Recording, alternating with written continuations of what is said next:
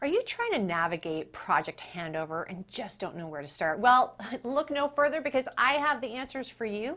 I'm going to teach you what project handover is, steps needed, and how to navigate it. And stick around to the end of this video because I'm also going to give you a really cool free download and ensuring how to ensure your projects don't fail. So I highly recommend you stay tuned for that. Hi, if you're new here, welcome. My name is Adriana Girdler, and on this channel, you're going to get the best career and project management advice coming to you every Wednesday. Now, please consider subscribing as it really helps us grow this awesome community. Now, if you're interested in learning more about Project Handover, I think it's time that we get to it. Please also like this video too. Thanks. What is Project Handover? Well, simply put, it's when the project's completed tasks, this is really important, they're all completed, gets handed off from you, the project manager, to the deliverable owner. That's usually someone in another department or operations. So you're literally saying this finished product is now yours. That's what project handover is all about. What to know about project handover? It's not one and done.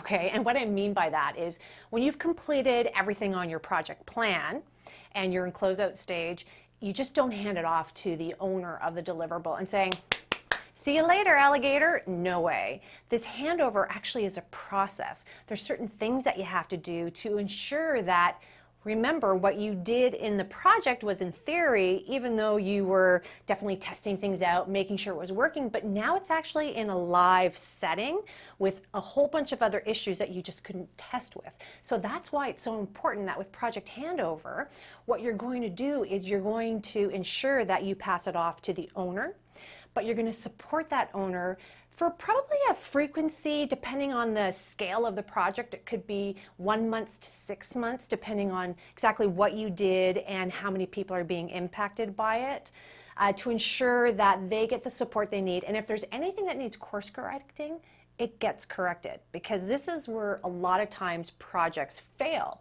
is in this handover state. They just, here, I'm done. Here, it's yours. And then you put it in a live production setting or a live setting just period. It's now in the hands of the business and they find a whole bunch of issues and now they're dealing with all of these issues that you created in your project. You're just not there to clean it up.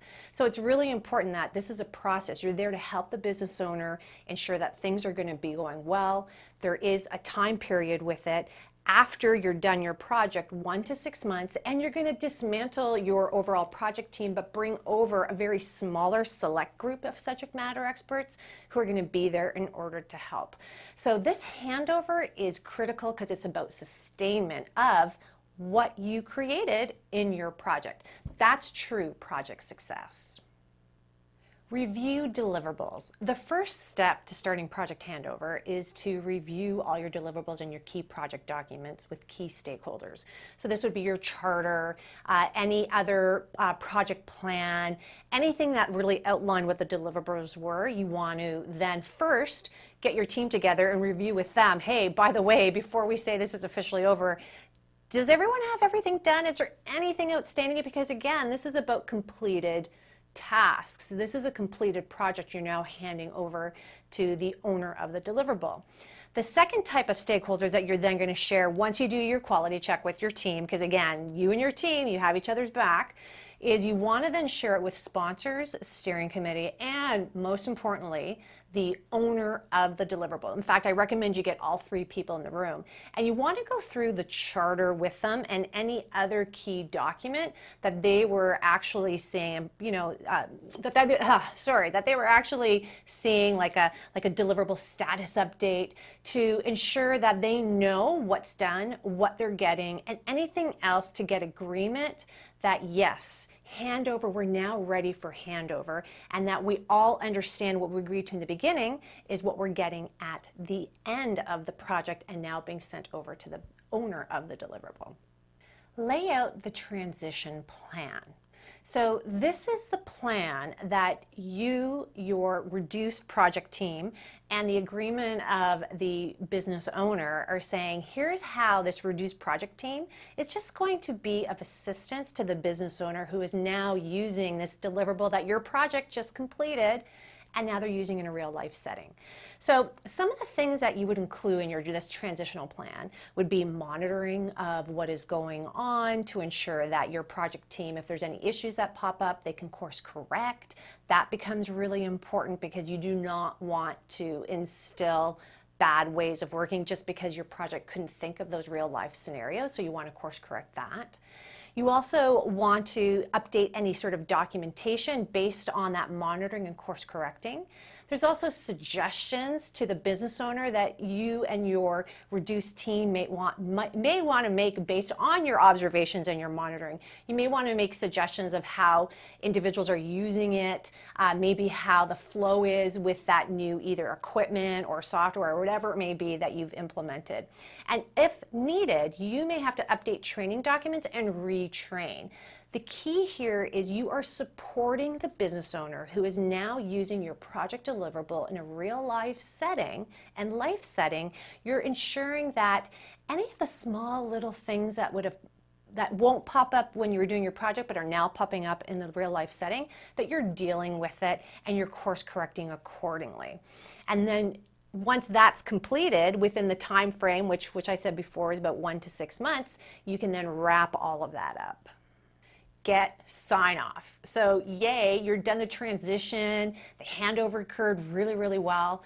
You're not done just yet. I highly recommend you get sign off on everything from the business owner and the project sponsor that everyone is in agreement that you've done your due diligence. So the best way to do this is I usually just set up a meeting and I will just explain what the transition was all about and anything that got course corrected and provide maybe some handover documents to the business owner um, if any were created. But even more importantly, once I get the sign off that everyone says, yep, you're agreed, you're done, you can totally disband or dismantle the team. Don't forget to archive the little things that you've done in your transition. That becomes really important because, again, documentation is really important with project management. So don't forget that because it's really easy to. So now that you know how to do a proper handover and the steps it takes, it's time for you to go under this YouTube video, go to this link and grab this. It's free. Why Projects Fail. The most you can do, or not even the most, the best thing you can do for yourself is get this. It's free advice, things that you can take a look at in order to ensure that your projects stay on track. And if you don't do projects, download it anyway. You want to know why? Because this applies to really to anything in business, activity or initiative too. If you learned something new in this video, please tell me, like it, put something in the comments below. And even more importantly, if you could share this and subscribe to the channel, that really helps us grow. On that note, let me know if you have any additional insights when it comes to project handover, or if you're like, oh my goodness, yay, I have these tips and I'm now going to do a great project handover. I'd love to hear from you. Until the next video, see ya.